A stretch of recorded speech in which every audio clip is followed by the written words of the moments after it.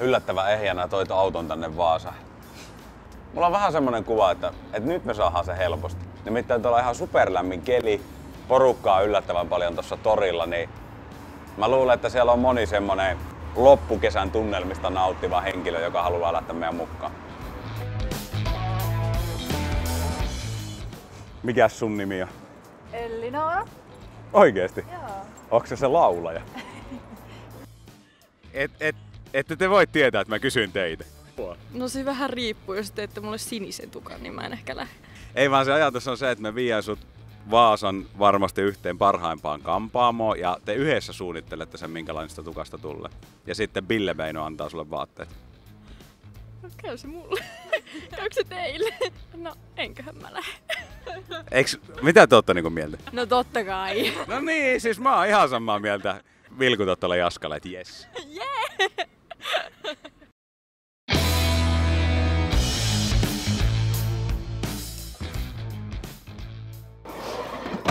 Uusi huome ja ääni sen kun paranee vaan, mutta mä uskon, että tämmönen tummempi ääni, niin se on paljon niinku semmonen houkuttelevampi ja vetovoimaisempi kaiken kaikkiaan. Hei, siellähän se Veera onkin. Huomenta. Huomenta. Ootko oottanut, kun kulta nousevaa meitä? Joo, totta kai. Me myös. Moi. Moro, moro. Moi. Tervetuloa. Kiitos. Tervetuloa. Kiitos, mites menee? Hyvin menee. No niin. Kiitos. Mites Tä- teillä? No ihan ok. Tää äänen kanssa pitää vielä työstää, mutta eikö tää ihan kiva? Joo, se on ihan kiva bassoääni. Niinpä. No hei, miten suunnitelma? Onko muuttunut? No kyllä mulla yön aikana tuli kaksi ideaa siinä, että katsotaan vähän, että kumpaan suuntaan mä. Okei. No tämähän kuulostaa aika jännältä. Hirvittääkö Veeraa? No vähän. Kyllä se taittuu. Aletaanko saman tien tekemään? Joo, laita vaan takkia naulakkoon. Kiitos.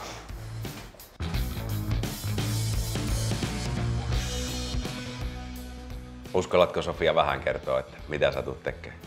Joo. Eli aloitetaan nyt tästä hiuksesta ensiksi. Eli tämähän on tosi pitkä, paksu, hyvässä kunnossa, hyvä juttu, mutta on vähän lasimainen kanssa. Ja tota, sillä lailla mä voin paljastaa, että tämä tulee kyllä muuttumaan tosi paljon. Se kuulostaa hyvältä. Tämä ohjelmakin kannalta. Joo, niin. Joo. Lyhenee ja väri vaihtuu. Okei. Sen mä voin paljastaa. Kuulostaako tämä kamalalta? Kuulostaa aika jännältä. Sitähän sä tavallaan tilasit.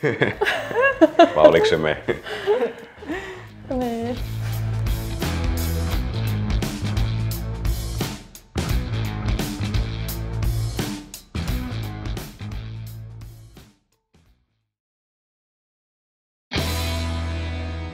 Mitä tehdään Sofia värin kanssa? No ensiksi pitää vaalentaa. Ja tota, no, niin se on sen verran tumma se pohja, että tota, sitä pitää vähän saada sitä väriä purettua sieltä, että saadaan se oikea sävy sitten sinne. Okei. No neuvopa Simolaista siinä, että joskus kun näitä kotivalennuspaketteja ostetaan ja vaalennetaan kotona hiusta, niin miten se eroaa sitten, kun täällä ammattilaiset tekee, kun sä sekoitat tämän vaalennustuotteen? Mitä eroa siinä on? No ensinnäkin on oikea hapetevahvuus. Ja tota, no, niin, se justiin puolittaa sen vaurioitumisen, koska kotiväreissä niin siellä on aina se tietty hapetevahvuus. Ja sitten voi olla, että halutaan vaan vähän vaaleammaksi, mutta sitten se voi vetää oikein valkoiseksi ja sitten se hius katkee. Mutta Joo. kampaamossa on oikea hapetevahvuus ja sitten siinä mietitään se hiuksen tummuus ja kuinka vaaleaksi se halutaan, että ei käytetä liian voimakkaita. Joo. Eli täällä tehdään ainoastaan sen verran sitä vaalennusta ja sen verran tavallaan sitä rasitusta sille hiukselle, kuin mitä on välttämätöntä, että saadaan se lopputulos. Kyllä. Ja joskus on vielä näinkin, että me kampaajat todetaan, että ehkä on parempi, että ei vaalennetakaan niin paljon, Joo. että säästetään sitä hiusta. Mieluummin niin päin. Joo. Aletaanhan tekemään.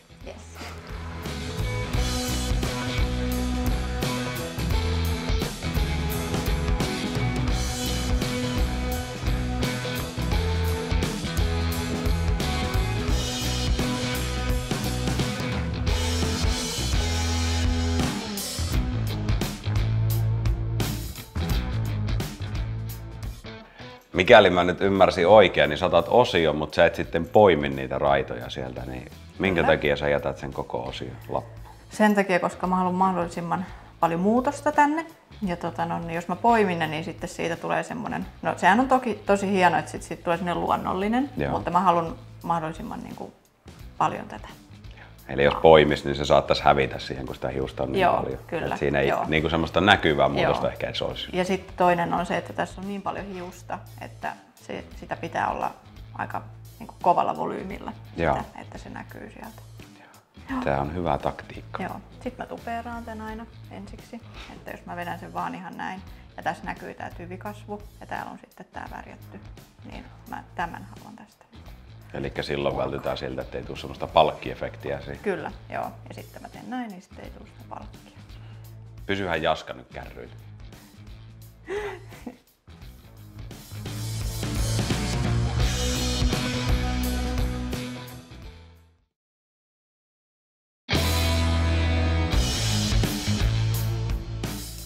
Sä oot hetki ollut nyt siellä lämpölaitteessa ja sulla on kapaa päällä ja väriä tolokuttomasti siinä, niin onks tukala? No kyllä, tää aika tällaista helleilmaa vastaa, vähän. Joo. Mutta ootko koskaan ollut näin onnellinen? Ei. No mites meille Sofia kävi? Lähtikö se vaaleneen? Hyvin lähti vaaleneen kyllä, että tosi hyvältä näyttää. Okei. Okay. Mites hiuksen kunto? Onko suurin piirtein ok? On, on, joo, että ei kyllä, ei kärsinyt. Suuri osa vielä pääsee eikä altaas. Joo, kaikki on päässä. Aika, aika hyvin. Joo, joo. No mites Veera, ootko sä vielä tuota onnesi kukkuloilla? No joo, ainakin nyt kun kuulee, että hiukset on vielä päässä. Niin jos se vielä pesun kestää, niin sitten ollaan jo niin kuin se Niin. levillä vesillä. Mutta hyvä tästä tulla, ei muuta kuin tuota kovaa suihkua vaan. Nyt saatu sitten Sofia oikea tummuusaste tuohon Veera hiukseen. Niin mitä seuraavaksi tapahtuu? Eli seuraavaksi laitetaan sitten sävyt siihen, niin aletaan sävyttää sitä vähän parilla eri sävyllä. Eli yksi tuupihan siihen ei riitä. Joo, mä katsoinkin, että taas on pöydällä useampi tuupi. Että tähän on jo eri kaupungeissa tottunut, että joskus on valtavakin kasa niitä. Että, Joo. minkä takia sitä Sofia täytyy käyttää sitten useampaa, että se ei onnistu yhdestä? No koska nythän on paljon muodissa ollut semmoinen äh, vähän liukuväri, mutta Joo. ei nyt enää niin voimakkaasti, mutta semmoinen vähän balayage. Niin siinä, koska me halutaan sitä latvaa vähän vaaleammaksi ja pituutta vähän tummemmaksi, niin sen takia käytetään kahta eri sävyä. Okei. Okay. Eli sä teet kaksi eri massaa. Joo. Joo, okei. Okay.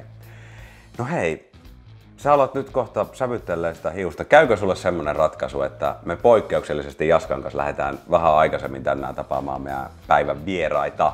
Ilman muuta, Joo, sä pärjäät täällä. kyllä.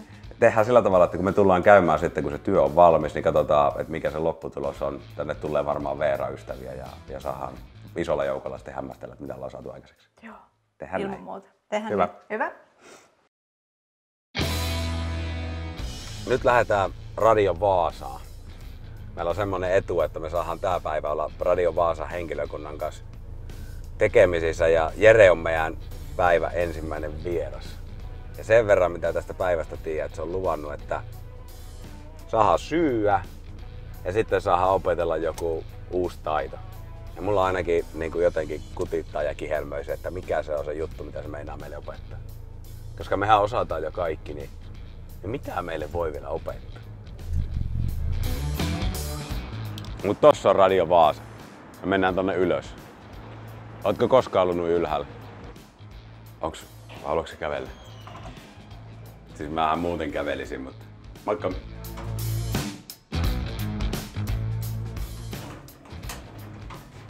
Jaha, kato jätkäkin pääsi perille. Jaha, sieltä se Jere jo tulee. Terve. Moro, moro. Mitäs isäntä? Ei mitään. Ei jäädä nyt tähän radiolle. Okei. Ta- Käydään katsoa vähän Vaasaa ja tulette sitten myöhemmin tänne. Okei. radiopihaan. Mitä sä oot suunnitellut meidän päämenoksi? Tota, jotakin salaista. Sä ehkä saatat oppia jotain tänään ja sit Okei. saat vähän kakkua ja kahvia. Mä otan takin vaan. Joo, se lähdetään. passaa. Lähdetään vaan mennä. Jes, kiva. Eikö sä jaskatu hissiin? Hei Jere, paljasta vähän. Mi- Mikä on ensimmäinen paikka? No mitähän mä nyt paljastaisin. Tota, tää eka paikka on nyt tämmönen kakkua, kahvia. Okei. Sehän on just, just sitä, mitä kaksi tämmöistä nuorta raavasta miestä tarvii. Sanohan, mikä tää patsas juttu on, kun Jaskalla oli siitä omat näkemyksensä. Se on vapauden patsas. Siis sisällissodan. Vähän meni, vähän meni siutti sulla. Jaska sinun veikkaus.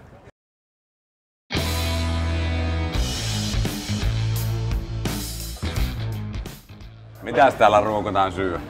No, jos sä oot niinku mun nelivuotias poika, niin sit sä otat makkaraa ja trippiä. Kuinka usein Jere tulee käytyä tässä? No kyllä tässä varmaan joka viikko tulee käyty pojan kanssa justiin. Tää on mun pojan ehdoton lempipaikka. Joo, ja tässä on sellainen rento fiilis katella, että tässä yllättävän paljon kyllä ihmisiä pyörii ympärillä. Se on hyvä syke. Eikö? Eikö sit saa olla pihalla ja, ja periaatteessa niinku keskellä toria, Joo. vaikka nyt ihan kirjaimellisesti, mutta silleen. Joo. Mutta onko se aina ollut näin, että onko sulla aina Jere ollut aikaa sitten niin kuin olla Vaasassa? Eikö sä kuitenkin, kun sä oot musiikkihommia tehnyt, nyt sä oot tuossa radiolla, mutta sä oot musahommia tehnyt enemmänkin aikaisemmin ja kiertänyt, niin kuinka paljon, kuinka paljon sä ruukasit olla reissussa? No siis silloin, mitä se voisi sanoa, pahimpina tai parhaimpina aikoina, niin tota, kyllä sitä tuli oltua niinku viikkoja pois. Mutta silloinhan ei ollut tavallaan niinku mitään. Että mitä enemmän on niinku kiertänyt Suomea ja jopa maailmaakin pikkusen, niin sitä enemmän niinku arvostaa Vaasaa ja, ja sitä omaa kotia. Että, et, Mutta voiko sanoa, että, että Radio Vaasa on ollut sitten niin kuin ainakin edesauttamassa tai ylläpitämässä tätä musakulttuuria täällä? Et se on poikkeuksellinen radio, ainakin mitä mä oon siellä käynyt ja, ja tota, mitä on jutellut teidän kanssa. Niin mun mielestä siellä on ihan, ihan poikkeuksellinen henki kyllä. no joo, mä allekirjoitan ton täysin ja sitten tota, uskallan väittää, että missään muussa radioasemassa niin ei tule yhtä laajaa musiikkival, niin kuin musiikkivalikoimaa kuin Radio. Vaasassa. Että, ja sitten tuetaan paikallisuutta hirveän paljon. Ja Me ollaan Jere vähän täällä syrjäkujilla nyt, niin mikä on Vasemmalla. määränpää? Eli tota, nyt mennään mulle niin kuin tosi tosi tärkeäseen paikkaan, ehkä niin kuin kodin jälkeen tärkeimpään paikkaan.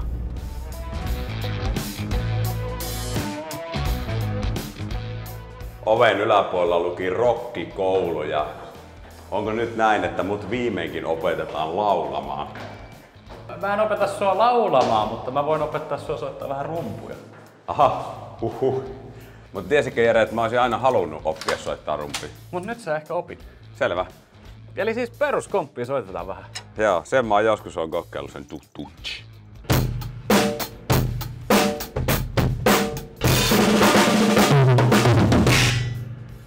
Ei noita fillejä, mutta vähän innostui. Vähän filliä nyt sinne.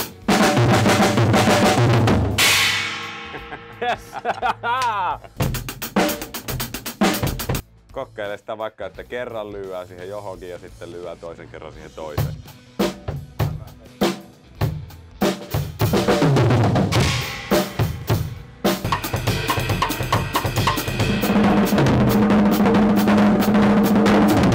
Ei oo todellista. Mutta olihan mä silti Jaska vähän parempi. Lähdetäänkö radiolla? Lähdetään radio. Se toimii erittäin hyvin. Tää oli tosi mukava yllätys.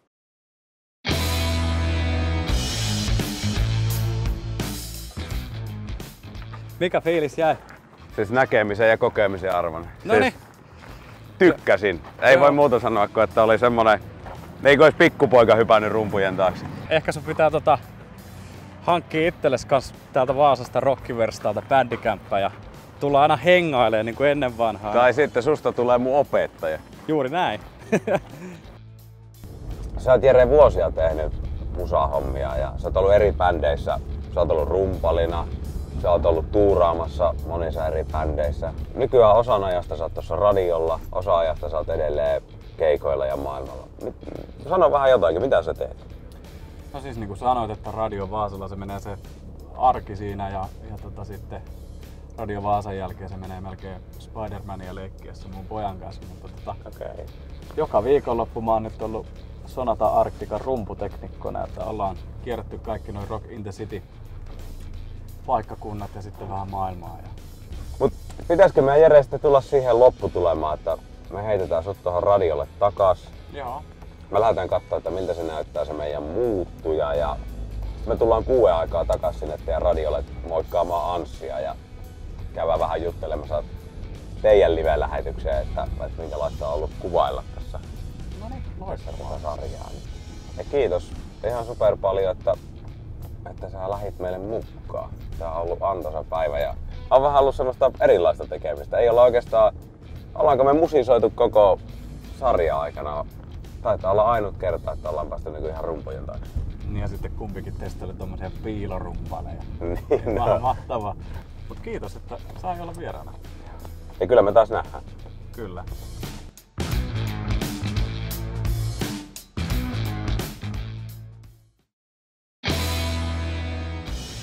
Käydään tässä välissä katsoa, että miltä studioksella näyttää. Ja sitten lähdetään tekemään soundcheck sinne fondiksi. Onko sulla hauista siihen Jaske? On hyvän näköinen varta. Jätkällä on kyllä hyvä veistok.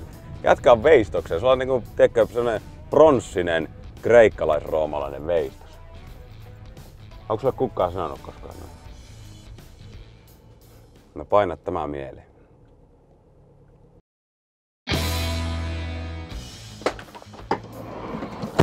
Mä luulen, että me päästään just niin kuin H-hetkellä tonne, että siellä alkaa olla meikkausaika loppusuoralla. No me satuttiin otolliseen aikaan nyt sitten takaisin tänne. Et sulla alkaa ilmeisesti viimeiset kiharat olleen siinä työalla. Joo, ihan viimeiset. Että ihan kohta ollaan hiusten kanssa valmiita. Okei. Mitä sä käytit siihen rauhan alle, kun se nyt tuntuu niin nätisti taipuva? Mä käytin tähän noita Sebastianin muotoilutuotteita, lämpösuojaa ja lakkaa. Okei. Laita sä ne kiharat loppuun. Mä lähden haiskelemaan Sannaa, että päästään kattelemaan meikkihommia. Yes. Sä oot nyt Sanna ehtinyt muutaman hetken tätä Veeran naamaa tässä kattoon, niin mihin tulokseen sä oot tullut? Mitä siihen aletaan laittaa? No mä lähden tekemään semmoista aika äh, pohjalta aika raikasta meikkiä ja huomio silmiin, koska Okei. on niin upeat tommoset väriä vaihtavat silmät, niin katsotaan mikä väri sieltä saadaan esiin. Väriä vaihtavat. Mitä tämä termi tarkoittaa? No se tarkoittaa sitä, että silmän väri on, se on tavallaan vähän vihreä ja vähän niin kuin sininen ja riippuu tosi paljon mitä väriä on ympärillä, että mitä väriä se heijastaa sieltä. Okei. Ja tää otetaan sitten, muun muassa tämä otetaan meikissä sitten huomioon. Kyllä, mä tajun sinne vähän vihertävyyttä lisää. Mä jään tarkkaavaisesti katsoa tähän viereen.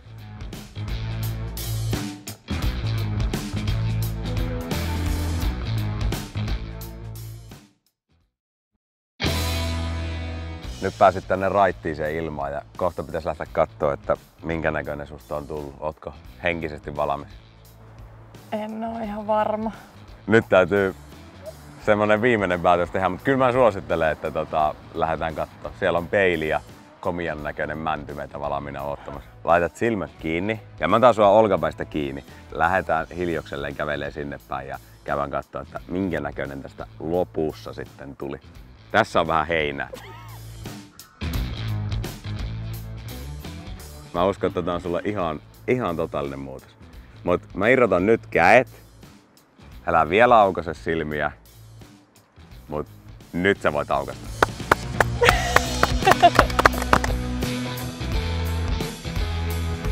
Aivan huikean näköinen. Käy katsomaan vaan lähempää, miltä sä näytät. Siis mun mielestä tää on varmasti yksi suurimmista muutoksista, mitä on ollut koko tämä meidän sarja aikana, kun me ollaan kuvattu. Mitä sä tykkäät väristä? No, on se aika erilainen. Miten sitten tuo pituus? Siitä lähti aika paljon pois sitä pituutta. Mi- Mikä on semmoinen ensimmäinen fiilis nyt siitä? Se on ihan kiva. No mitä Sofia? Sä teit tämän koko luomuksen, niin Mm, ootko Joo. tyytyväinen? on. Olen tyytyväinen. Just halusin vähän niin kuin purkaa sitä tummaa latvaa, että vähän vaaleampaa. Ja sitten mä olin tosi pitkään kahden vaiheilla, että laitanko mä häntä vaaleeksi vai teenkö mä hänelle vähän tämmöisiä syksyn sävyjä. Mutta sitten mä tein vähän molempia. Onko se sen näköinen kombinaatio nyt, että uskaltaa lähteä illan keikalle? Joo, eiköhän. Tunnistaa itsensä peilistä. No ei varmaan. Mut hei, me nähdään kaikki sitten keikalla kahdeksalta alkaa. Meillä on pari tuntia vielä aikaa siihen ennen kuin me mennään sinne. Ja mun pakko lähteä availemaan jollakin tätä mun ääntä. Tää on vähän edelleenkin painoksissa. Mutta mä luotan siihen, että jos, jos mulla loppuu ääni, niin Sanna hoitaa sitten loppukeikan ja mulla ei ole siitä sen enempää murhetta. Lähdetään valmistelemaan keikkaa. Kiitos.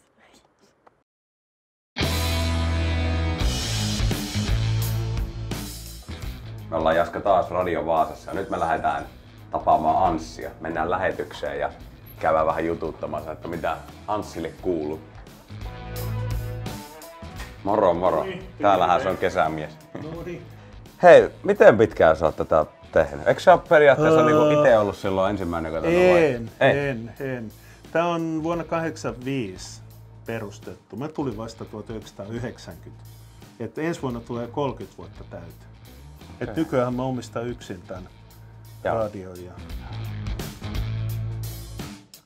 Jos ajattelet normaali arkipäivää, niin kuinka paljon sulla on etukäteen suunniteltu se ohjelma? Onko se niinku pitkälle niinku koko viikko, koko kuukausi, koko päivä? Ää, päivät on suunniteltu osittain viikot, mutta ei kuukausittain, koska koko ajan voi tapahtua jotain semmoista dramaattista, mikä pitää Ja. hoitaa sitten kunto. Se miksi täällä on tämmönen romuvarasto johtuu ehkä enemmän siitä, että mä oon tämmönen sulovilein, että kun saa halvalla levyjä Joo. ja niitä mulle aina tarjotaan, niin sitten mä ostan ja osa menee omaan hyllyyn, osa radiohyllyyn ja osa myydään sitten eteenpäin. Onko se laskenut? Paljon sulla näitä on? Ää, Siis puhutaanko tuhansista? Puhutaan, puhutaan. Mulla on pelkästään kotona varmaan semmonen 5-6 tuhatta levyä Okei. Okay. kotona. Hullu On, on, mies. on varaa valita. Hyvä homma, että saatiin tulla käymään. Ei, ja mahtava nähdä. Joo, samoin samoin. Onhan täällä ennenkin tullut pyörähettyä, mutta nyt jotenkin vähän syvempää infoa, Joo. mitä tää kaikki Tuu on. uudelleen, niin Totta jutellaan kai. sitten ja pistetään oikein meidänkin radioon juttu. Joo, ja lem- Onko muuten tulossa levy? On! Joul, joulukuussa pitäisi ilmestyä ensimmäinen levy. No niin. Soitat sitä sitten aamusta iltaan. ja tuut sitä ennen tänne. Joo, ilman muuta. Hyvä. Hei, Ei nähdään. mitään. Hyvää Palataan. jatkoa. Moro. Moi.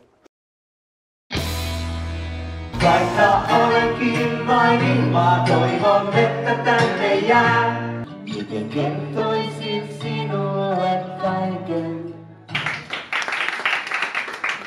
Vaikka kyynelet silmissä, pyytäisit, että voit jäädä. Siis loppujen lopuksi se oli todella hyvän näköinen se sun hius jo ennen sitä työtä. Jokainen osio yksitellen täältä lähdettiin niskasta alkaen ja laputettiin ja laputettiin ja laputettiin. Saa taputtaa, jos tykkää.